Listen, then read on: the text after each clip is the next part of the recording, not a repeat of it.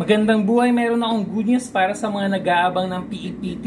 Starting May 17 dahil nasa GCQ or General Community Quarantine ng status ng Metro Manila, muli po nagbubukas ang office ng BEA or Bureau of Evaluation and Assessment at meaning pwede na ulit mag-test ng PEPT. Start na po silang tumanggap ng mga applicants at yung mga na-pending dahil sa biglang declaration ng ECQ.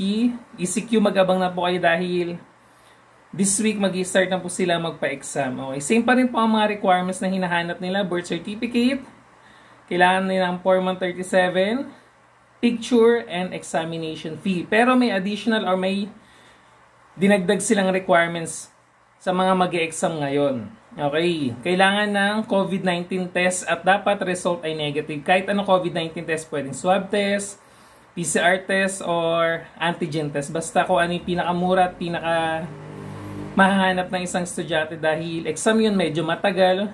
Matagal siya mag-exam sa isang room at may expose siya sa examiner kaya kailangan na negative kasi nga ina-advise diba ng IETF na at least 15 minutes below para hindi ka basta-basta mahawa ng COVID-19. So dahil doon, kailangan may negative result ang isang estudyante. So kung sa tingin mo ready ka na, handa ka na mag-exam, na-review mo na ang lahat, at Kompleto ka na ng requirements, so mag-test ka na, push mo na yan. So good luck sa lahat na magte-test at hopefully na maipasa nyo to at next school year, okay, promoted na sa next level or makagraduate na. Lalo ngayon na tuloy-tuloy yung pag-aaral natin kahit sa pandemic. So ayon sa DepEd calendar, hindi ako nagkakamali, July yung pinaka-graduation. And then August yung next na pasokan. Kaya mag-test ka na, galingan mo.